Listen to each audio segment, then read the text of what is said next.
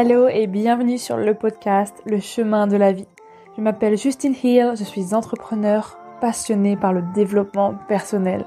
Ma mission est de te guider sur le chemin de la guérison vers l'éveil spirituel et la paix intérieure.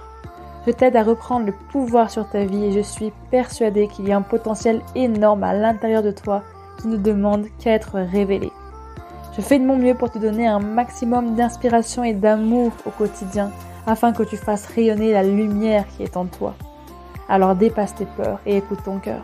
C'est la clé du bonheur. Accepte de guérir pour mieux te reconstruire. Et si tu aimes ce podcast, n'hésite pas à le noter avec la note de 5 étoiles sur iTunes, sur Apple Podcast et Spotify. Tu peux aussi le commenter sur YouTube et n'hésite pas à le partager à quelqu'un qui en aurait besoin. Bonne écoute Bonjour à tous les amis, j'espère que vous allez bien. Euh, je suis de retour, euh, du coup, euh, après une semaine de, de, pause, enfin de podcast que j'ai pas tourné parce que franchement, j'étais pas du tout en état. parce que je dois dire que ça fait, ouais, depuis le mois de, enfin le mois de juillet en général, a été très, très chaotique, très bouleversant, très, voilà, beaucoup de choses sont passées à la fois, très peu aussi. Enfin, c'était un peu le bordel, voilà. Dans ma vie, ça allait pas trop. Et donc euh, la semaine dernière, vraiment, je me sentais incapable de tourner un épisode. Et je me suis dit, mais Justine, en vrai, incarne ce que tu as dit euh, il y a quelques semaines dans l'épisode où je dis fous-toi la paix. Bah voilà, fous-toi la paix. Du coup, je me suis foutu la paix, je me suis dit, vas-y, c'est pas grave, je fais rien. Et alors Genre, est-ce que ça va empêcher euh, quelqu'un de vivre? Non. Genre, voilà. C'est pas comme si c'était la fin du monde. et à un moment donné, si je veux faire des choses de qualité et que ça a de la valeur, il faut aussi que je pense à prendre du temps pour moi. Euh, personne va m'embrouiller parce que je ne fais pas d'épisode toutes les semaines. Enfin voilà.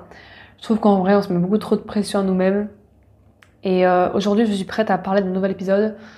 Donc, euh, c'est pas non plus l'épisode le plus joyeux, mais il est tellement intéressant, je trouve, parce que euh, mourir pour renaître, vraiment, c'est un petit peu l'histoire de ma vie. J'ai l'impression depuis ces dernières années. Donc, je vais expliquer un petit peu bah, à quoi ça correspond, qu'est-ce que ça veut dire en fait mourir pour renaître, parce que vous doutez bien que c'est pas mourir littéralement. Hein. Là, c'est vraiment une métaphore, mais j'adore, j'adore. Enfin, vraiment, j'adore cette métaphore. Je la trouve magnifique. Je la trouve tellement belle, tellement puissante et tellement parlante.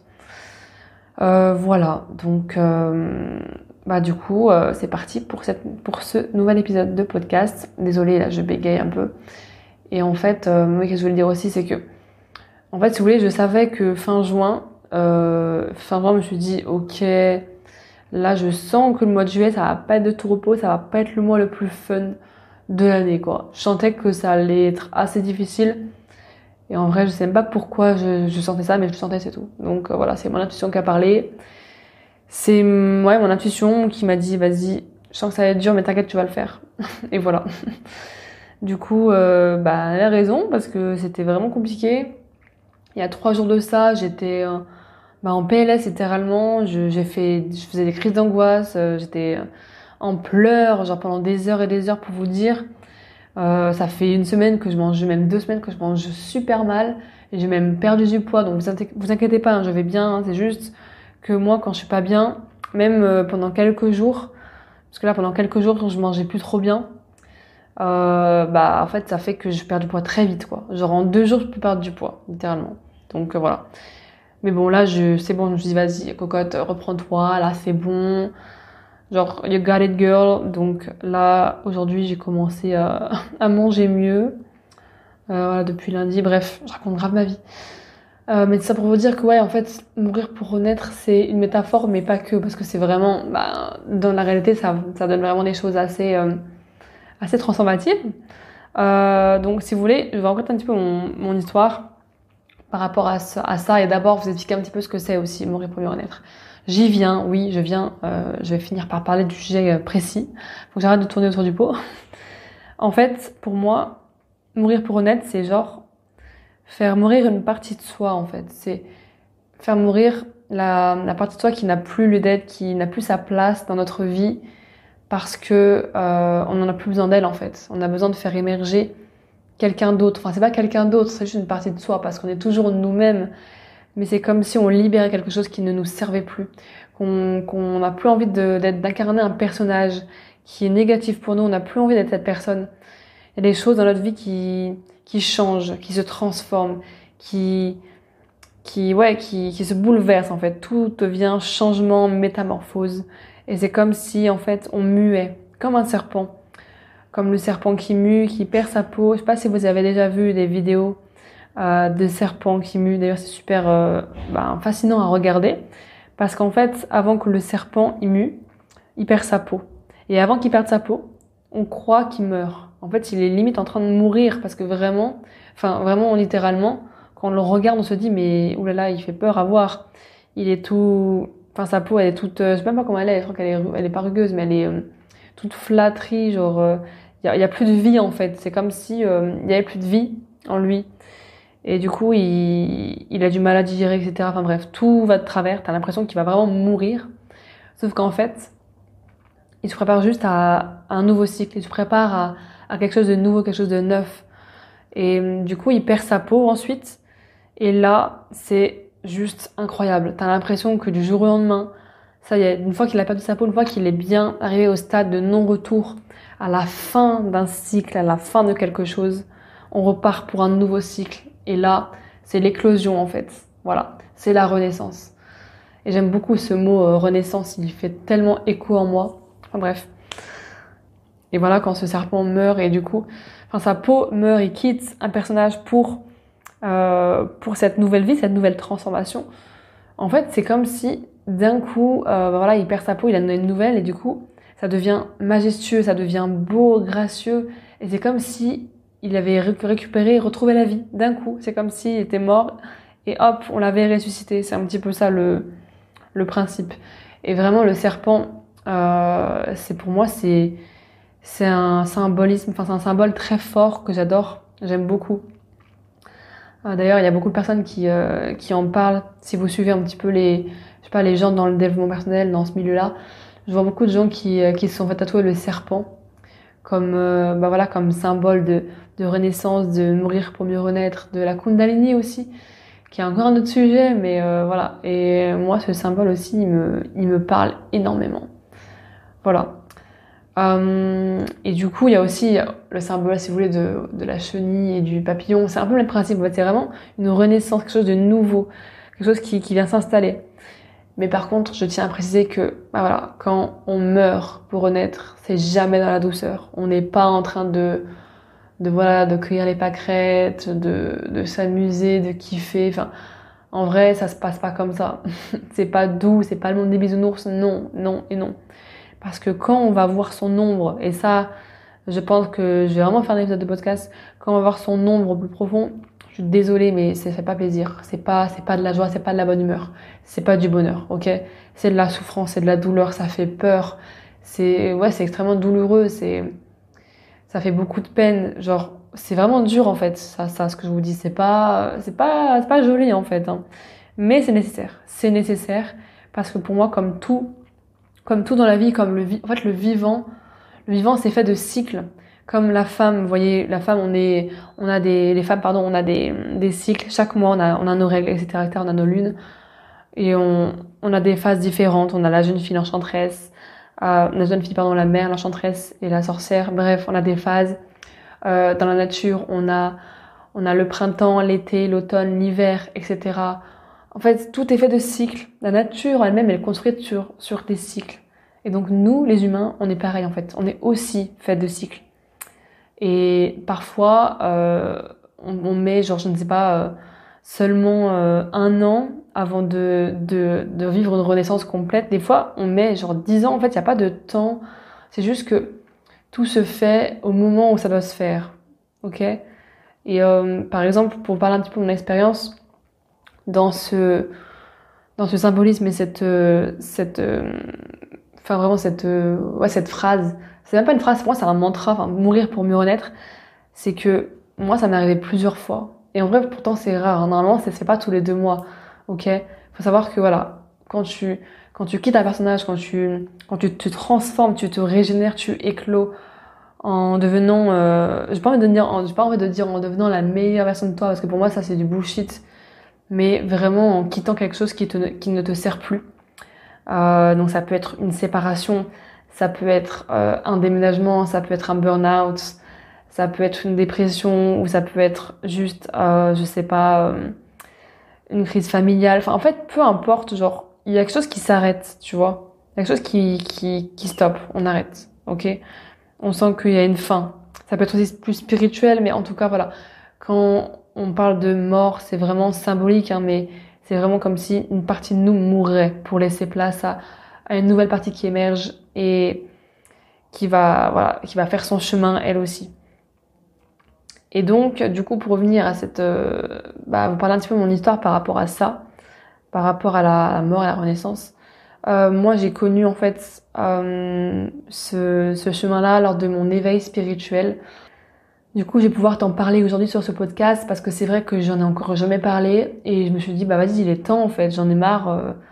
Moi aussi, tu vois, de parler des fois des choses un peu plus deep euh, parce que oui, j'aime les choses concrètes, mais j'aime aussi beaucoup euh, bah, la spiritualité et je nage dedans euh, constamment. Donc j'ai envie aussi de, partager ces, ces réflexions-là. Et bref, en fait, j'ai fait entre guillemets mon éveil spirituel fin octobre 2021. Euh, donc pile dans la période du scorpion. Donc en plus la période du scorpion, c'est vraiment... Euh, bah, ça incarne clairement la renaissance. Hein. Scorpion, on n'a pas peur d'aller voir dans, dans son nom. On a, on a envie de, de transformer. Enfin, c'est même pas qu'on a envie, c'est que en fait, on se transforme, tu vois. C'est vraiment la période un petit peu mystique, un petit peu, voilà. Bref, on t'aura compris. Euh, mais euh, voilà, du coup, j'avais fait mon, mon éveil spirituel. En fait, quand je dis j'ai fait mon éveil spirituel, ça veut pas dire que les gens qui euh, ne sont pas éveillés spirituellement sont complètement cons, sont complètement à côté de la plaque, sont euh, ont une vie de merde. Non, pas du tout. Hein. Je suis pas du tout en train de dire ça. Et, et euh, c'est pas parce que tu es éveillé qu'avant tu étais endormi. Enfin, c'est pas exactement ça que je veux dire, ok? Mais euh, parce que pour moi en fait on est tous des êtres spirituels mais bref et en fait avant de d'avoir ce d'avoir ce, cet éveil spirituel déjà faut savoir que j'avais rencontré ben mon chéri en en février 2021 et ça avait beaucoup joué mine de rien parce que rien que ça en fait euh, avec lui j'ai commencé à me transformer vraiment beaucoup parce que ça a été une personne enfin c'est toujours une personne qui qui m'apporte euh, plein de choses et avec qui j'ai un énorme effet miroir et une connexion tellement profonde que j'ai jamais eu avec qui que ce soit. Et bref, c'est très euh, très intense, mais bon, ça c'est encore un autre sujet. Et ça a commencé par là parce que hum, il y a des choses qui se sont passées. Euh, parce que vraiment, à pas se mentir, j'ai commencé le dev perso vraiment à travailler sur moi, à, essayer de comprendre ce qui se passe dans ma vie en 2020. Mais on va dire que de 2020 à 2021, c'était plutôt, euh, enfin l'année 2020 plutôt, c'était vraiment du dev perso de bisounours, quoi. Genre, je suis pas allée voir mes profondeurs, j'étais en mode, euh, ok, c'est cool, c'est fun et tout. Alors oui, le dev perso, ça va être fun, hein. ça va pas être euh, quelque chose de, ça doit pas être un poids, en fait, hein, ça c'est, ça c'est clair. Mais, euh, genre, c'est forcément difficile à un moment donné, parce que tu peux pas aller voir tes blessures, aller voir les choses qui te traumatisent, etc., sans ressentir des, des émotions désagréables, des, de la souffrance, quoi. Bref, et cette année-là, ça a vraiment beaucoup changé. Enfin, il y a beaucoup de choses qui ont changé avec, euh, enfin, du coup, en moi. Déjà, j'avais arrêté le marketing de réseau en septembre parce que vraiment, j'étais à deux doigts de faire un burn-out. Je pense que j'en ai fait un mini, mais j'ai arrêté bien avant d'être au bout du rouleau. Hein. J'ai entendu les sonnets d'alarme en mode plus motivation, même, mais c'est même pire que plus la motivation, c'est plus de sens, plus aucune envie de me lever le matin. Je ne sais pas pourquoi je suis là, je, me plains tout le temps, je râle sur les gens, j'ai pas envie d'aller voir les gens qui je travaille. Bref, c'était lourd, c'était super lourd. Et du coup, en un mois, j'ai pris la décision d'arrêter. Voilà. Et après, bah du coup, même pas, ouais, un mois plus tard, non, deux mois plus tard, parce que j'ai fait une énorme pause de tous les réseaux, de, de tout, en fait, j'ai tout mis en stand-by. Genre, j'ai dit, stop, là, je sais plus qui je suis, je ne sais pas ce que je fais, je, je suis perdue niveau professionnellement, même dans ma vie sentimentale ben ça va pas des je comprends pas, même dans, ma vie perso, je comprends pas, j'arrive pas à partir à l'étranger, bref, tout était en sang dessus dessous, on comprenait rien, c'était le bordel. Voilà. Euh, aussi une énorme baisse d'estime de moi, voilà, tout ça, tout ça. Et donc, j'ai fait une formation après en kinésiologie synergetics, euh, grâce à mon, à énergéticienne parce qu'elle m'a fait découvrir ça. Et en fait, j'avais déjà vu un petit peu euh, deux fois, sauf que je me suis dit, ben, au début, je pensais pas faire une formation parce que, bah voilà, je, je sais pas, moi, j'étais pas du tout dans, ça, quoi. C'est même pas que j'étais fermée. Hein. Moi, je n'ai jamais été fermée à la spiritualité, jamais. Mais juste que, en fait, j'en avais tellement pas conscience, en fait, pas conscience, en fait, pas connaissance de ça. Pour moi, c'était un milieu et je connaissais même pas ce mot, limite. Enfin, voilà, c'était très, euh, très flou pour moi. J'avais pas, pas la conscience, c'était pas le moment. Et du coup, ben, quand le moment est venu, c'est même euh, du coup mon énergéticienne qui m'a dit mais en fait toi t'as des t'as des dons entre guillemets parce que j'ai envie de dire des dons je prends des pincettes parce que pour moi tout le monde a des dons. Tout le monde en a mais on est tous différents donc chacun a, des dons particuliers selon les personnes et selon si on est ouvert et éveillé à ça ou pas. Et du coup elle m'a dit ouais toi tu pourrais être passeuse d'âme guérisseuse etc t'as vraiment quelque chose euh, surtout dans la gorge tu peux transmettre des messages euh, guérisseurs etc bref des choses comme ça moi je t'en mode mais qu'est-ce que tu me racontes là? Euh, What the fuck quoi? Et après, elle m'avait dit, mais je sens aussi que tu peux tirer les cartes en vrai. Toi, tu, tu peux le faire. Donc vas-y, essaye. Essaye, on verra ce que ça donne. Euh, et donc moi j'ai essayé, mais alors je savais pas du tout comment on faisait, je sais même pas trier, enfin je sais rien faire avec les cartes. J'étais en mode mais c'est quoi ça? Tu me donnes un tarot, un oracle, qu'est-ce que c'est, quoi ça sert? Je comprends pas. Mais du coup j'ai quand même fait. Je me suis dit vas-y let's go. J'avais déjà vu un petit peu sur YouTube, mais très rapidement comment ça marche. J'en ai jamais fait, mais c'est pas grave. Et j'ai essayé de lire les cartes. Je me suis dit, vas-y, je réfléchis pas. Euh, vraiment, je fais à l'intuition totale. C'est tout. Que mon intuition. Et là, je commence à lui raconter un petit peu ce que je vois, la guidance, euh, les messages qui ressortent pour elle. Encore une fois, c'est pas la lecture de l'avenir. Hein, voilà. On a toujours notre, notre libre arbitre, je répète. Mais euh, du coup, euh, j'étais en mode, ok, euh, bah en fait, je crois que c'est ça marche vraiment parce qu'en fait, tout ce qu'elle me disait, elle me confirmait. En fait, elle me disait, mais bah ouais, c'est exactement ça. Je suis exactement en train de passer par cette phase-là. Donc euh, bravo. Enfin, en mode, voilà, genre j'ai vu juste quoi. Même si j'allais au feeling sans savoir, euh, sans savoir ce que je faisais, j'avais aucune idée de comment faire. Mais euh, ben en fait, ça lui a parlé et c'est là que je me suis rendu compte qu'en fait, ouais, j'ai des capacités. En fait, je, je suis capable. Donc ça a vraiment augmenté ma confiance en moi parce que je me suis dit mais je peux le faire. Genre ça marche vraiment, c'est pas juste de l'invention, de machin. Non, ça marche. Donc après, quelques semaines plus tard, je me suis dit, allez, vas-y, go, lance-toi, fais la formation dont, elle t'a parlé. Et c'est là que j'ai commencé à faire la formation en kinésiologie synergétique. Donc euh, ça, c'est tout ce qui est soins énergétiques, euh, pour libérer du coup des choses dans le corps, etc. Et c'est là aussi où j'ai appris à lire les cartes encore mieux, euh, bref, plein de choses comme ça. Et durant cette formation, j'étais avec d'autres femmes aussi, deux autres femmes qui, euh, bah, du coup, maintenant sont mes amies. L'une d'entre elles avec qui je suis extrêmement proche, parce que même si on se parle pas, pas tout le temps, enfin, c'est vraiment comme, euh, ouais, je sais pas. Pour moi, c'est un coup de cœur, une âme sœur amicale, quoi, genre vraiment. Et l'autre aussi avec qui euh, j'ai très entendu, enfin voilà, c'était vraiment, on était vraiment entre femmes, c'était vraiment un cercle de femmes. Très intense, très puissant. Et très challengeant aussi parce que je n'avais pas du tout l'habitude, mais c'était tellement beau de voir cette sororité. Euh, voilà. Et c'est là où j'ai appris en fait plein de choses. Mais j'aime pas forcément pas forcément appris, euh, on va dire de manière euh, écolière, de manière élève, apprentissage, prof, élève. Non, c'était pas ça. Parce que vraiment tout ce que j'ai fait, allez, 90% du temps, c'était de la pratique. C'était pas du théorique d'écrire machin, ça veut dire ça, ça veut dire ça. Ça, ça, ça a duré 5 minutes et après voilà, on est passé directement à la pratique. vraiment parce que ça, pour moi, la kinésiologie, il faut le vivre. Enfin, les soins énergétiques, ça se fait pas en écrivant, enfin, dans, dans la tête. Ça, vraiment, il faut le faire pour, pour s'entraîner et s'exercer. Je pense que c'est valable dans plein de domaines, même si c'est tous les domaines. Et du coup, c'était tellement intense parce qu'en fait, c'est comme si euh, j'avais allumé la lumière euh, sur des choses en moi qui étaient déjà là, mais qui étaient tellement, euh, bah, du coup, du coup, dans l'ombre qui était enfouie parce que j'avais pas conscience de ça. Et, euh, et pour moi, en fait, l'éveil spirituel, c'est vraiment tu, tu, tu, tu te rends compte de choses qui sont déjà en toi, mais en fait, tout ce que tu fais, c'est juste mettre la lumière dessus.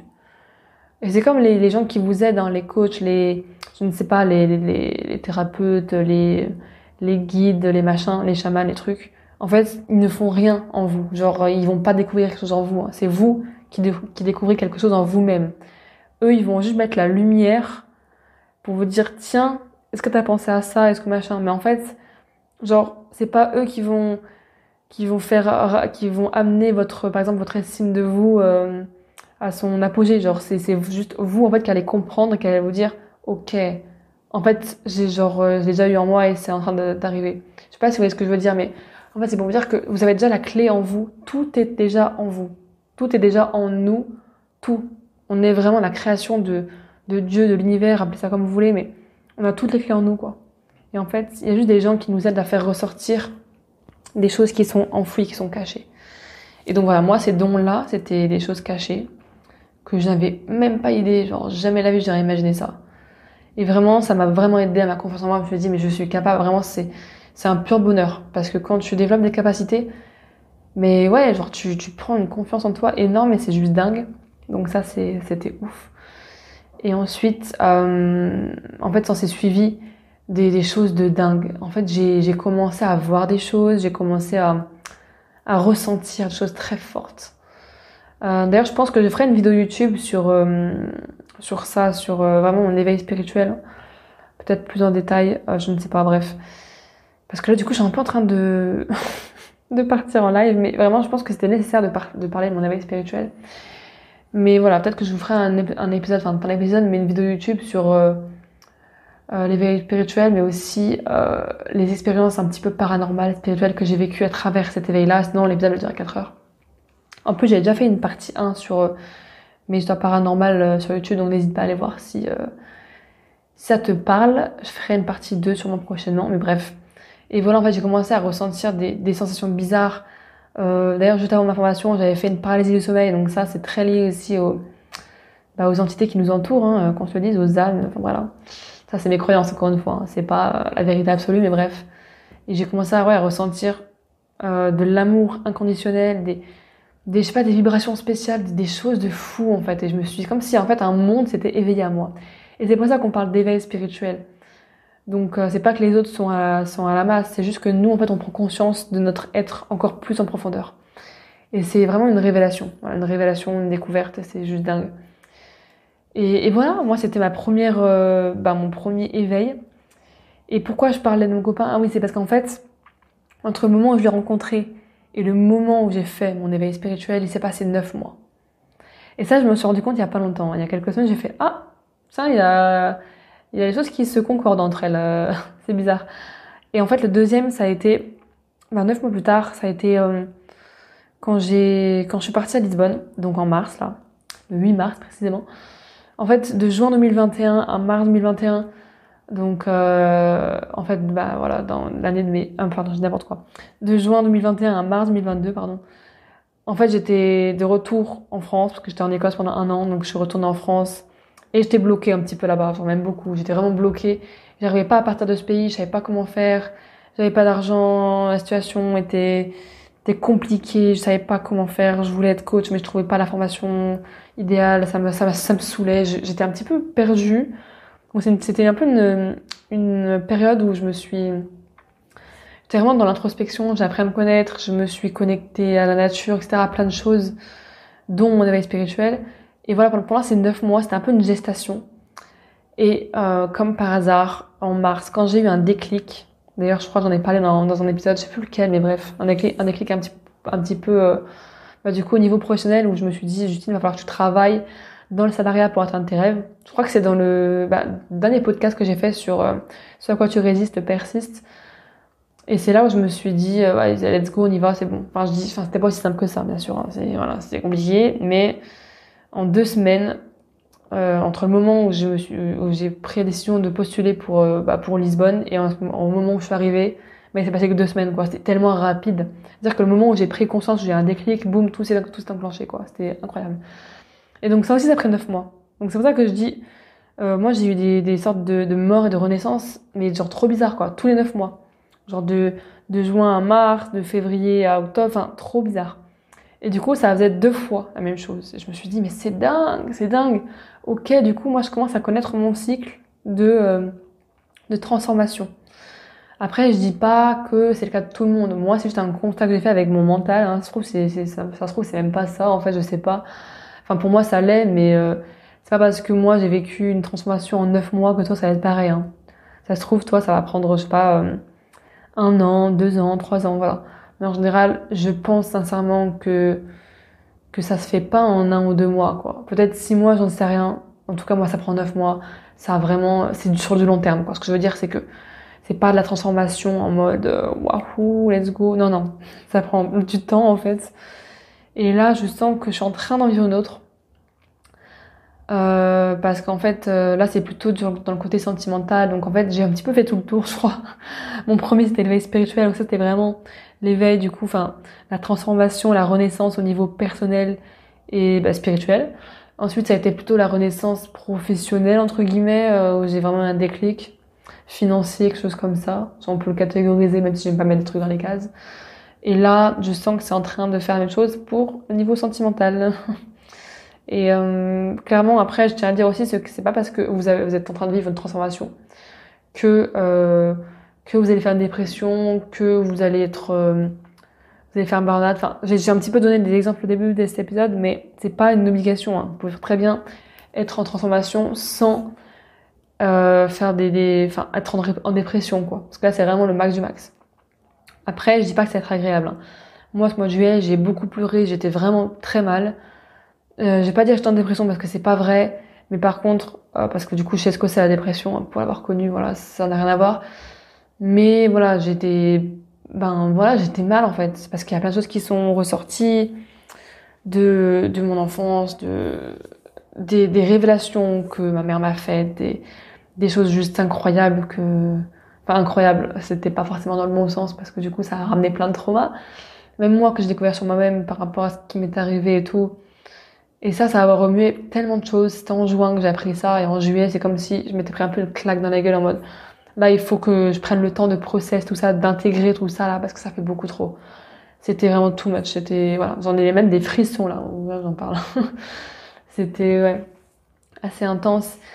Et pourquoi je dis que c'est pour moi une renaissance et une transformation sentimentale, c'est parce que euh, en fait, oui, désolé. Hein, d'ailleurs, je parle beaucoup, je parle beaucoup de moi, je sais, mais en fait, c'est vraiment pour te faire écho à toi qui écoute cet épisode, parce que je suis sûre que tu peux te reconnaître là-dedans. Et vraiment, j'adore donner des exemples parce que je trouve que c'est tellement plus parlant que des trucs théoriques. Enfin bref. Et donc voilà. Et euh, qu'est-ce que je disais? Oui, euh, donc sentimentalement parce que en fait, ça fait depuis le mois de janvier que j'ai pas vu mon chéri. Et là, on est au mois d'août, ok. Donc ça fait ça fait presque huit mois que j'ai pas vu. Euh, ça, je pense que je peux aussi en parler euh, dans un autre épisode parce qu'il y a relation à distance, voilà, voilà. Et donc c'est très compliqué, hein, je vais pas vous mentir, c'est très compliqué. Mais euh, pourquoi c'est une renaissance? Parce qu'en fait, euh, je vais le voir normalement, je crois que je je touche du bois, tout se passe bien, en septembre. Donc ça fera neuf mois. voilà pourquoi je, souris et que quand je découvert ça, j'étais ok, je comprends, je comprends. Et du coup, c'est pour ça que je me dis ok, il y a encore une transformation qui se fait. Et c'est vrai que voilà, depuis un an, je vis pas mal de transformations, euh, un peu tous les neuf mois, même si ça se chevauche entre les mois, bref, c'est très intense. Il y a des périodes comme ça. Hein. Ça se trouve euh, pendant deux ans, j'aurai rien. Enfin, je sais pas en fait. Voilà, c'est en fait, c'est pas des choses qu'on réfléchit, qu'on se dit, allez, allez, hop, euh, c'est bon, c'est parti, dans trois mois, j'aurai une transformation, let's go. Non, c'est pas comme ça que ça marche. C'est vraiment, ça se fait un petit peu naturellement, quoi. Donc, c'est vraiment des cycles, comme je le disais au début de cet épisode. Et donc, voilà, euh, parce que, voilà, j'apprends, euh, en fait, chaque jour à avoir plus confiance en moi, à me donner plus d'amour de moi, parce que je sais que il y a encore beaucoup de choses sur lesquelles je peux m'améliorer, même s'il faut pas non plus toujours être dans le, dans vouloir plus, plus, plus mais euh, voilà, sentimentalement, parce que ben, je pense que j'arrive vraiment à un carrefour de vie là. À un moment donné, je sais que je vais devoir prendre des décisions pour ben, là où je veux vivre, parce que le chapitre de Lisbonne c'est bien beau, mais bon, c'est pas là où je vais vivre euh, éternellement. Moi, je veux être digital nomade. J'ai aussi de, j'ai aussi envie de vivre des choses avec mon chéri, de, de vivre avec lui clairement, parce que voilà, c'est quand même un bail qu'on s'est pas vu, de construire quelque chose. Donc euh, dans mon couple, c'est pour ça que c'est vraiment un tournant et c'est beaucoup lié aussi à ma vie pro en tant que, que, que coach. Je veux, vu que je veux, enfin, je pas je veux, c'est que je vais m'inscrire. je suis inscrite à une école de coaching qui démarre en septembre aussi. En fait, c'est vraiment le, le bazar parce que tout démarre en septembre. En septembre, c'est un petit peu le tournant. Genre, euh, allez, c'est genre, maintenant que t'as bien intégré, que tu t'es bien préparé, là, ça va changer, là, ça va bouger. Et je dis ça alors qu'on n'y même pas encore, hein, mais je le sais, parce que je le sais, je le sais, voilà.